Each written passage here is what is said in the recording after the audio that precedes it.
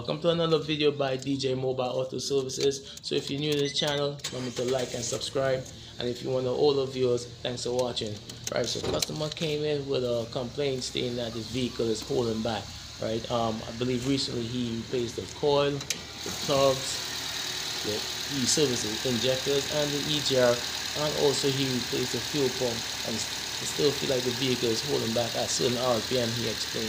Right, so he asked us if I could check it out for him. So before I do anything, I like to do a visual on this vehicle, right? Listen to how it sounds, listen to how it starts, um, and before I put a scan tool on it, right? Um, this is the Nissan Nissan Wingroad. It carry the HR15 engine in it, which is a popular engine here. So it shouldn't be hard to figure out, right? So let me just get my scan tool and pop it on the this vehicle and take it from there. Alright, using this launch scan tool, I'm attempting to go to the back door. Right now, the time you you are able to go to the back door, right? Um, I believe it's depending on the protocol and if it matches and stuff like that, right? But going through the back door, you tend to see a little bit more information when it, especially when it comes to drivability issues right um, i can get anything from my long-term short-term fuel trim um, from a mass airflow grams per second you know my map you know things like that, right? So with that now, I'm able to kind of narrow down what I'm seeing and what I'm supposed to get based on the information that I'm gathering here on the scan tool, right? So let me just pull up Nissan and go and see if I could pull up some PIDs where I could where it could assist me to narrow down a little bit, right? This customer states that he's getting he having issues when accelerating. He feel like the vehicle is holding back and he just want to know, you know, why is it? So I'm gonna pick the EGR command. Um, let's, see what else I look at. Um, EGR error. Um, um, I normally just pick like long-term fuel trim, O2 sensor. Um, what else I need? Yeah. Sometimes I pick the IAT, right? Um, the long-term, short-term, right? That should be it. I don't need much, right?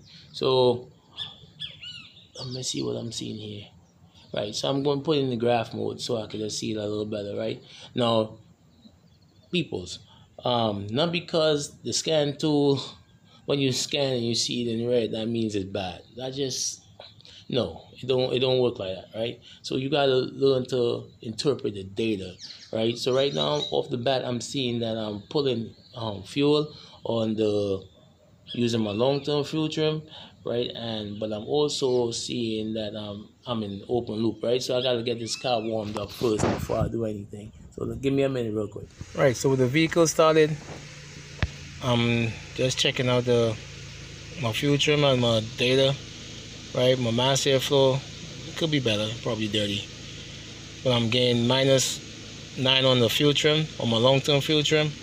I am in closed loop, but I'm watching my command to my EGR I'm not sure I'm supposed to be getting um, command to EGR if I'm not driving right now. Right, um, what else am I seeing? I'm seeing that I had a command to my EGR here in the error. The question is why? Why did I get that command to my EGR?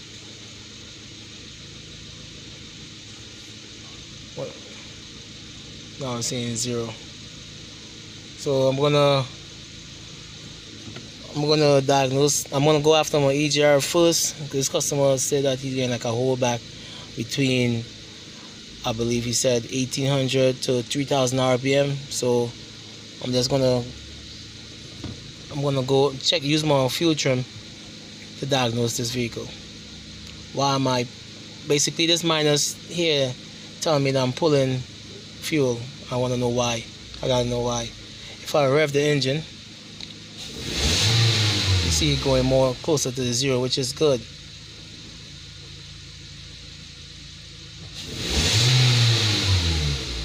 But it looks like something is up with this EGR.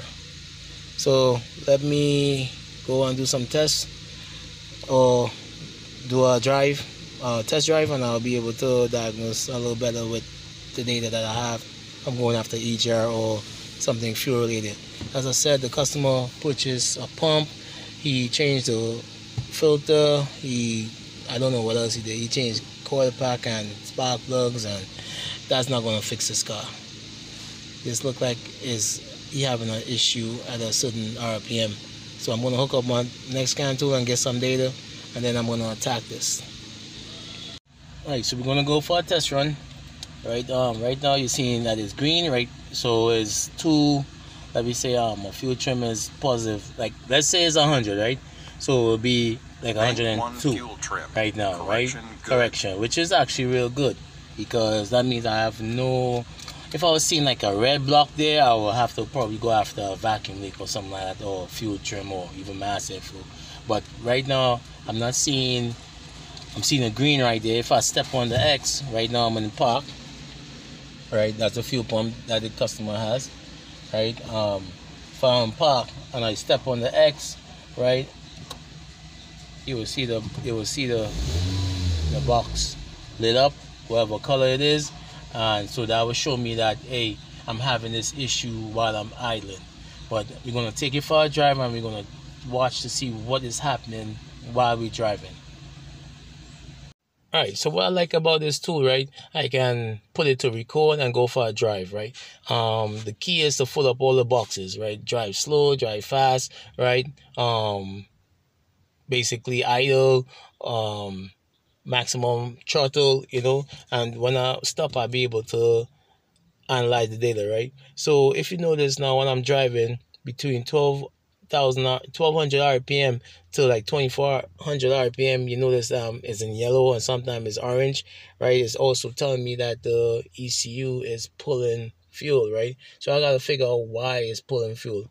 Um, I saw this problem before a while back on a vehicle and can't remember what it was off the top of my head, but in this case, what I'm gonna do, since it's a driving problem uh, issue I'm getting when I'm driving, and you notice as it as the RPM increase, it gets better. So that's eliminate fuel.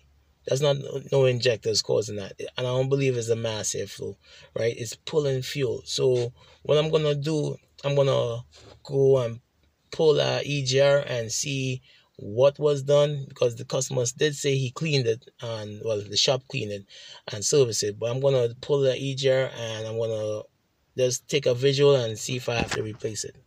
So to get to the EGR, you gotta remove the two clips here, these two clips from right here, pull this off. Gonna move out this ducting part here. Depending on how tough it is, I may have to remove the battery. I think I may, I might still have to.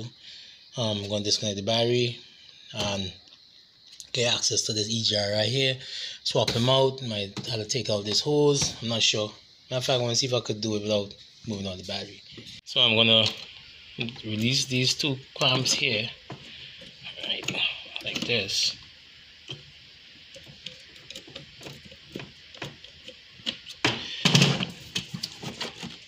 Hold on, let me try, I'm trying to do this with one hand. That's the problem. Alright, so I removed the air ducting from there. Let's put it to the side. So I'm gonna get access to this EGR here. So I'm gonna remove these two 12, um, 10 bolts I'm going to try to price it up. Right? Um, the reason I'm going after the EGR because uh, I find the EGR command looking a little fishy. So let's give me a minute. Let me just see if I could take it out. And I have a, another EGR there, so I'm going to try that one and see if that will help. Alright, so we're to, like I said, remove this bolt here. And have another one behind here. I'm to move that out.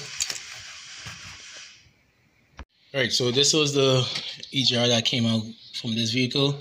So I'm gonna put in this one and see what is going on. I'm seeing some stuff up in the EGR. Oh, let's see. I'm not sure. So right, after replacing the part that affects the um the fuel trims and stuff like that, what we gotta do is we gotta do a reset. We have to do a reset. If we don't do the reset, it's gonna remain the long term is always gonna stay at minus 10 right so um, I did it before before I even got on you just go on maintenance um, it, you don't have to do it on all cars some cars you have to drive it to reset but Nissan you have to reset it as it would always remain where it was last, right? So you have to tell the brain that. And then you do, so like say for instance, remember it was saying was minus 10. So it was taking away fuel, right? Um, so when I replaced the EGR, right, I took it for a drive test run, see where I'm getting. I'm, I was okay. And then I noticed that my fuel trim was still reading my fuel trim was still reading um, minus 10 right so but I know I fixed it so what I needed to do was replace not replace to reset the what you call it my fuel trims right? So I'm just going to show you how I do it. Um, let's go on Nissan.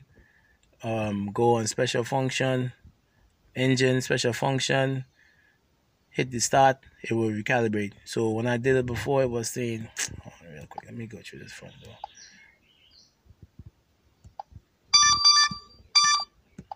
Yeah when I went through the front door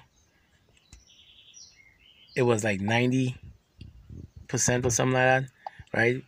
Um and then when I press update it went to 100 percent right? So when you, what you're to see is 100 percent showing that everything was reset. Let me just get to it and I'm put you back up. Okay, so what you're going to do is go into the engine module right? Um when you go into the engine module you will go into I think it's work or special functions. Oh let me just gonna take a little while to do. And then once we do that right so you're gonna go into work support. Right you see you see self-learn count you're gonna hit that button. Right so that means it clear all the um poor drivability issues that you had that that stays on the ECM you have to hit that right?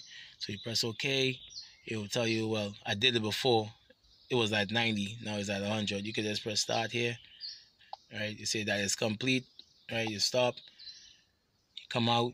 If you want you could go back into your data and read all your inputs. I normally go after these for normally pick these for when it comes to um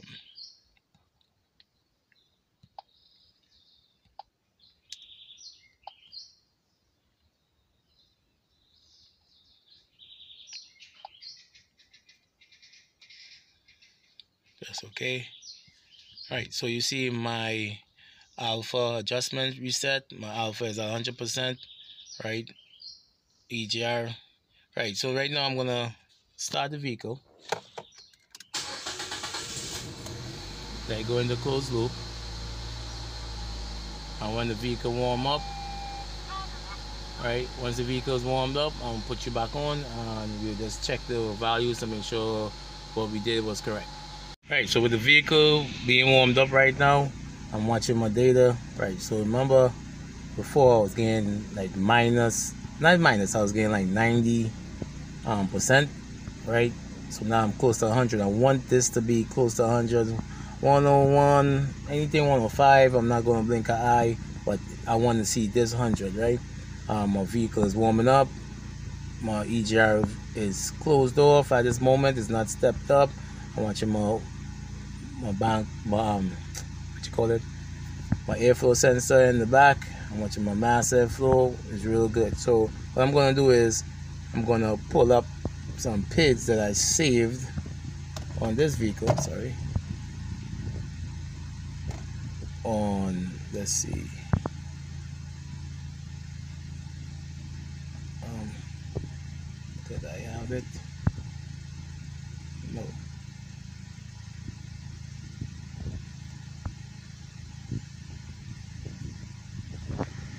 Right so I did not save the the data from before to now. On this scan tool I was using my launch right um but what I'm saying is I want to see this. I want to see this close to a hundred right? Well what I can also do is take you for a ride um using my my next scan tool I was using and I can monitor how it looks. Because remember I was seeing like my fuel trims was in and out red blocks, orange blocks, yellow blocks. So I wanna if I wanna confirm my fix. So let's hook up that scan tool and that would show better than this because I was using that one to do the test run.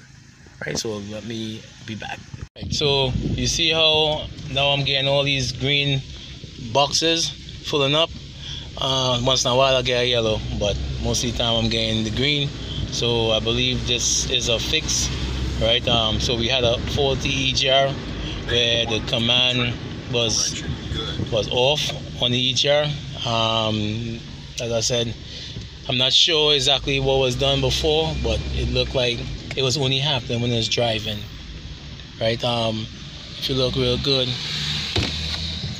when I idle I'm getting within again good fuel trim correction and when I'm accelerating again good trims also good correction. So there I want to call that a fix right? So we had a 40 EGR basically looked like he was sticking or he was staying open um, while the while the piston is running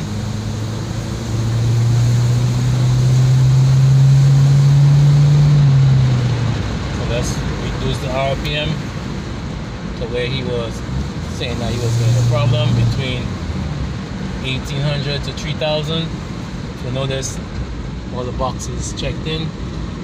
Yeah. What's up.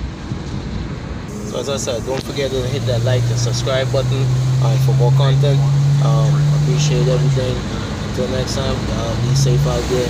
Take it easy. All right cool later